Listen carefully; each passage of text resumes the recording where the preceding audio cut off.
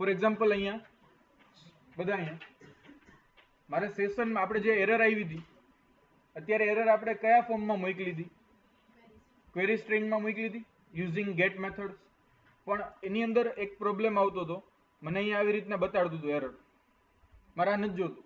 આવું મને ન ગમે. બરાબર? મારે અહીંયા ક્લીન જોઈ છે, આવું ઇન્ડેક્સ ડોટ પીએચપી જોઈ છે. પણ છતાંય એરર આવી કે નહીં મને ખબર પડવી જોઈએ. તો એના માટે થઈને તમે સેશન યુઝ કરી શકો. હજી આપણે લોગિન માટે સેશન યુઝ નથી કરતા. ખાલી આના માટે યુઝ કરવું છે. તો એ ટાઈમમાં તમે ડેટાને અહીંયા આવી રીતના મોકલો નહીં. અહીંયા ખાલી શું મોકલો?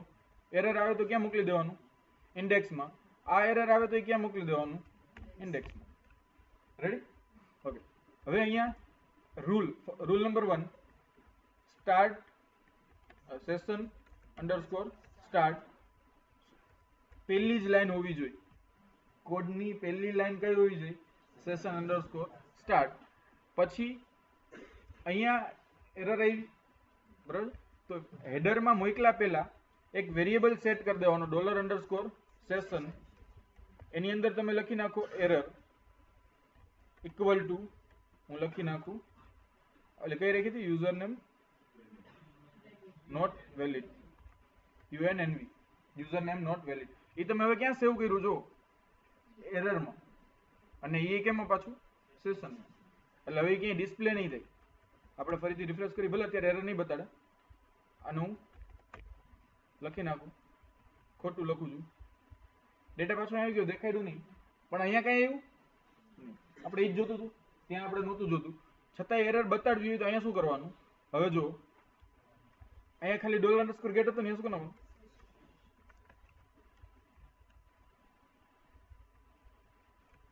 સમજાણું શું કર્યું મેં? ખાલી ગેટ હતું એને બદલે એરર કરી નાખ્યું. અને હવે આપણે એને રિફ્રેશ કર્યું ઓકે થશે અત્યારે? આપણે જોઈ લઈએ. ચાલો. ખોટું નાખું છું. થશે? કાંઈ પાસ નહીં કરવું પડે. બધું બરોબર છે. ખાલી એક જ ભૂલ રહી ગઈ છે. જ્યારે પણ તમારે આ યુઝ કરવું હોય ને સિમ્પલ જ્યારે પણ આ યુઝ કરવું હોય ને, સૌથી પહેલી લાઈન શું લખવાની? તમે આ પેજમાં સેશન ચાલુ જ કરતા ભૂલી ગયા હતા. એટલે અહીંયા શું લખી નાખવાનું છે? સેશન અંડરસ્કોર સ્ટાર્ટ થઈ ગયું? યુઝર નેમ નોટ વેલિડ અહીંયા કઈ દેખાય છે? હવે આને રિફ્રેશ કરીશું, શું થશે? તો એ દેખાડશે. કોઈક નવું પેજ પાછું ખોલે, એની વ્યક્તિ તો પાછું બતાડે. કેમ કે શું થયું? એકવાર સેશન સેટ થયું, ચાલુ જ છે. તમારી પાસે બે ઓપ્શન છે. તમારી પાસે બે ઓપ્શન છે. હવે અહીંયા ઓલો ડિફરન્સ આવશે. જો આ સેટ હોય, બરાબર છે? અહીંયા નહીં, અહીંયા છે. જો આ સેટ હોય, તો તમે અહીંયા શું કરી નાખો? પેલો ઓપ્શન યુ ડિસ્ટ્રોય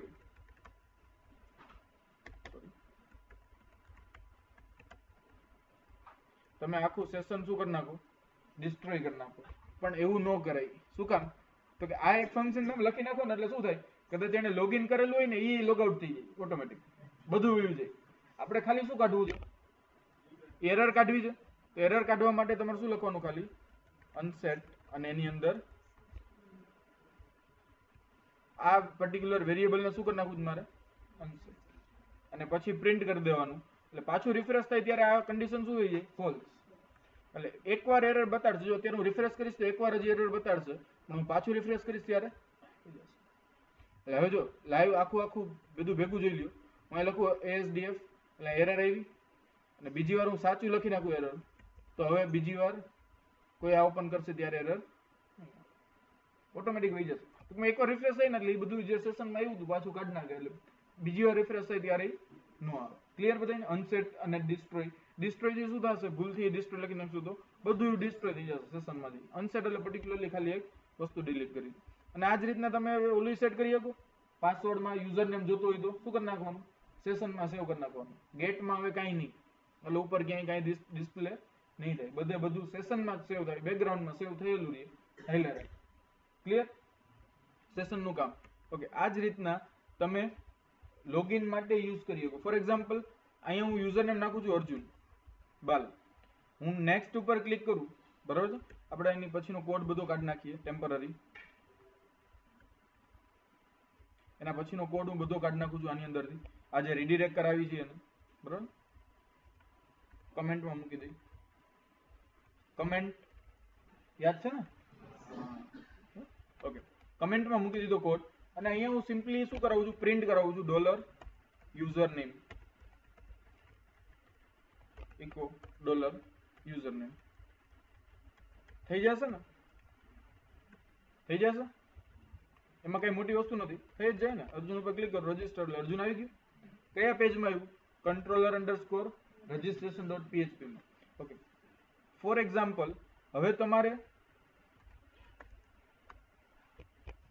ત્રણ પેજીસ મેન્ટેન કરવા આ તમારું પહેલું પેજ બરાબર તમારું બીજું પેજ તમારું ત્રીજું પેજ અને આવી રીતના તમારી આખી વેબસાઇટના હજાર પેજ આ તમારું ઇન્ડેક્સ પેજ જ્યાં લોગિન કરાવો. આ તમારું નેક્સ્ટ પેજ બરાબર, જ્યાં તમે એને વેલિડેટ કરાવો. અહીંથી ડેટાને સબમિટ કરશો એટલે અહીંયા મળી જશે. ઓકે આમાં કોઈ પ્રોબ્લેમ નથી. બરાબર પણ અહીંયા for example user name Arjun આવ્યું. એ મારે ત્રીજા પેજમાં જોતું હોય મળે? કઈ રીતના મળે? સેકન્ડ પેજમાંથી મારે શું કરવું પડે? ત્રીજા પેજ નો? ડાયરેક્ટલી નો મળતો તોય. પહેલા પેજમાંથી ત્રીજા પેજમાં ડાયરેક્ટલી ડેટા ક્યારેય નો જાય. બરાબર? ઓપ્શન છે, જો વચમાં પાછું ફોર્મ આવે, તો તમે ઇનપુટ ટાઈપ ઇક્વલ ટુ વિધન ભેણા એ વિધાન ટાઈપ સેટ કરી અને પાછું ઠેકડો મરાવી દીધું એમ એકમાંથી ઠેકડા મરાવતા જાવ બરાબર?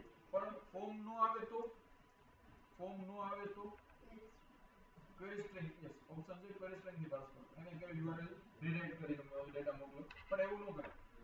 એવું ન કરે. તમે લોગિન કર્યું ફેસબુકમાં પેલું પેજ આવ્યું લોગિન કર્યા પછી અહીંયા ઉપર આવ્યું તમારું નામ. અર્જુન વેલકમ અર્જુન. બીજા પેજમાં એવું બીજા પેજમાં એવું, હજાર પેજ ખોલશો હજાર હજાર પેજમાં નામ આવશે. તો એ બીજાને ક્યાંકથી ક્યાંક ટ્રાન્સફર કરવું પડે ના તો એના માટે શું યુઝ કરે સેશન એકવાર સેશનમાં સેવ કરી દીધું. પછી એક અહીંયાથી સેશનમાં સેવ કરી દીધું ફોર એક્ઝામ્પલ અહીંયા તમે સેશનમાં તો અહીંથી અહીંયા ડેટા ભાઈ તમે ટ્રાન્સફર કરવાની જરૂર નથી સેશન શું હોય? એક કોમન વસ્તુ હોય. બરાબર? અહીંથી પહેલા તમે તમે સેશનમાં સેવ કરાવી દો. પછી તમારા જેટલા પણ પેજીસ છે એ બધાને કેમાંથી ગેટ કરાવો? સેશનમાં એટલે બધા પેજમાં તમને મળી જશે.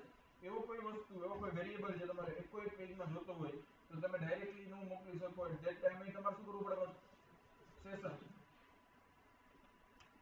ઓકે સેશન તેર અત્યાર સુધીનું બધું?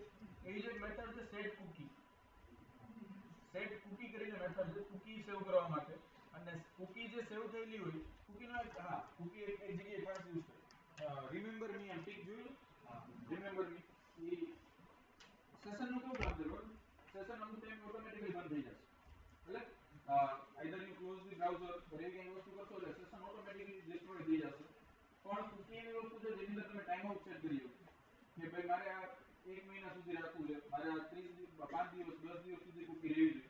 તો કુકીનો એક એડવાન્ટેજ છે કે રિમેમ્બર મી ઉપર આમ ટિક કરીને જો તમે સેવ કરી નાખો ને એટલે પરમેનન્ટલી તમારા બ્રાઉઝર બ્રાઉઝરમાં સેવ થઈ ગઈ છે પછી તમે મહિના દિવસ સુધી જ્યારે પણ રિક્વેસ્ટ કરો ને ઓટોમેટિકલી કુકી ભેગી મોકલી તમારું લોગિન કરે છે એટલે તમારે બીજી વાર બ્રાઉઝર બંધ થઈ ગયું પછી ખોલતો તો એ હાલશે ફેસબુક હાલે છે ને?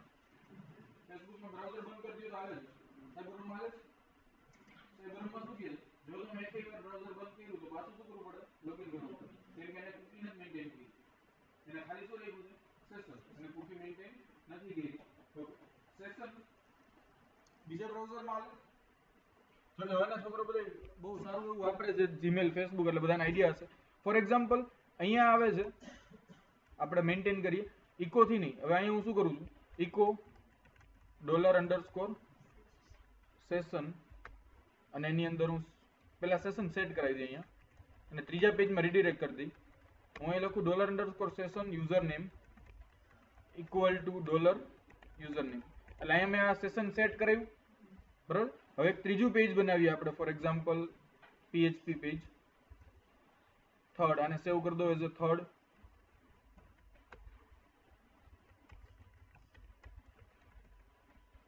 third dot PHP અને અહીંયા હું પાછું શું કરાવી નાખું? સેશન સ્ટાર્ટ કરાવવું પડશે. ભૂલવાનું નહીં ખાસ. અને સેશન સ્ટાર્ટ તમારે એક એક પેજે નહીં કરવું પડે. શું કામ? હેડર હેડર હશે હેડરમાં એક જગ્યાએ નાખી દેવાનું, એટલે બધે થઈ જાય. સેશન અંડરસ્કોર સ્ટાર્ટ અને અહીંયા તમે બોડીમાં લખી નાખો પાછું PHP echo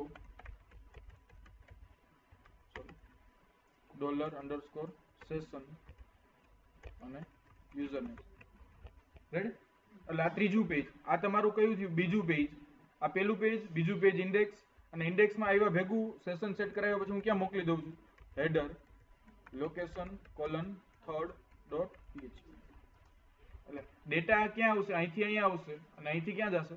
થર્ડમાં અત્યારે ચાલશે કેમ કે we are maintaining a session બરોબર? અહીંયા હું લખું છું અર્જુન. એ ડેટાને સબમિટ ક્યાં કરું છું? કંટ્રોલર અંડરસ્કોર રજિસ્ટ્રેશન ડોટ પીએચપીમાં અને એ રીડિરેક્ટ કરે છે ક્યાં? થર્ડ ડોટ પીએચપીમાં તો અહીંયા આવી ગયું, અર્જુન. હવે આને હું કોપી કરું. અને હું એક અલગ બ્રાઉઝરમાં પેસ્ટ કરું, તો શું થશે? થશે કે નહીં? થર્ડ ઓપન કરે એટલે દર વખતે જ ખુલે?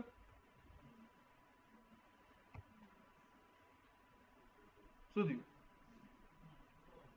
આ જ બ્રાઉઝર, આ જ યુઆરએલ મેં એક બ્રાઉઝરમાં કર્યું તો મને ડેટા મળ્યો. બીજામાં ન મળ્યો. શું કામ તો કે સેશન છે સેશન હંમેશા બ્રાઉઝર સ્પેસિફિક હોય તમે ઘણી વાર જોયું તો જીમેલમાં તમે લોગિન કરો ને તો એ તમે પાછું જીમેલની અંદર ક્રોમમાં લોગિન કરો ને તો તમે પાછું ફાયરફોક્સમાં કરો ને તમે જીમેલમાં બીજા ઈમેલ લોગિન કરી. એવું જોયું શું કામ? તો કે ક્રોમ અને મોઝિલા બે અલગ બ્રાઉઝર સેશન પર્ટિક્યુલરલી તેના માટેનું હોય બ્રાઉઝર એટલે આ રીતના તમે સેશનને ઘણી અલગ અલગ રીતના યુઝ કરી શકો. જરૂર શું કામ પડે સેશન પહેલી વાર ઓકે, આખું તમારી વેબસાઇટ બનાવી કે એડમિન પેનલ પૂરી થઈ ગઈ. પછી તમારે શું કામ સેશનની જરૂર પડી?